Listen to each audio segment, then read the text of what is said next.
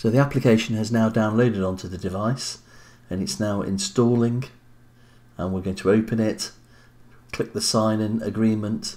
Now we're going to sign in, it's using the default so we just click sign in and now it's authenticated. Now we get to the dashboard so now we need to get some data.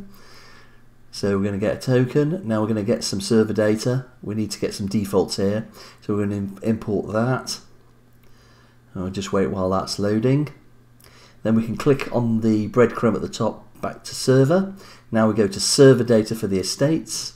Now we've got three estates there. We'll click the active plan one. We'll go to the default site and we'll get a building there which is the one of the Revit examples which we've converted into COBie and we've clicked import and each of the sections are downloading so we just have to wait for this process. Last thing to come down, photographs and then the maintenance tasks. There aren't any maintenance tasks. Now we can go back to the dashboard and there it's now set as the default building. So we click on the building, some information. If we just click on any image and we can zoom into the image. On a tablet you get the little icon up there. You won't get that on the phone. Go to a floor. So this is the floors directly out of Revit. So it's outputted all those floors. So we've clicked on the lounge space. Go to the lounge space. Shows us which space we're in. Look at the asset types that are there. We've got doors and windows. There's one of my doors. And then we can go back to the dashboard and go and get another building. So we're going to get the BRE building. So this time we go to the BRE estate. Then we go to the Bucknell Lane site. And we've only got one building in there at the moment. So we'll do the same thing again. We'll import. Now this is going to take a little bit longer. So what's happening is each of the sections are getting downloaded. And you'll notice by each of the sections there's a blue button. So you can download and update just that section.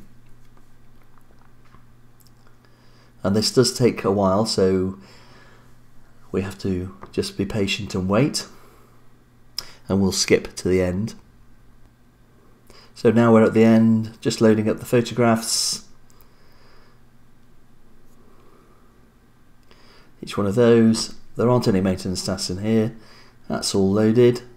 So let's click back to the dashboard, click to the building. There's the photograph of the building. And we'll go to floors and we've got three floors in this building.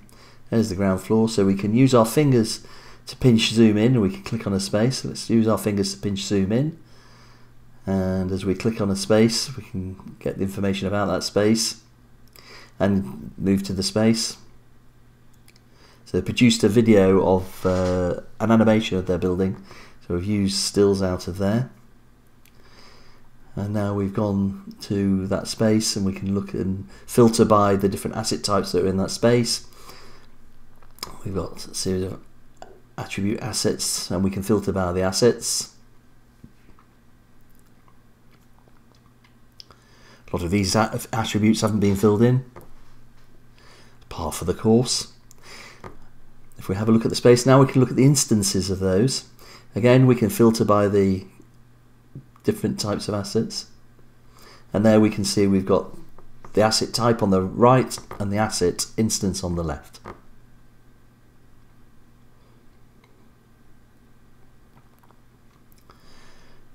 And that just about concludes this getting started to download your first building. Thank you for watching.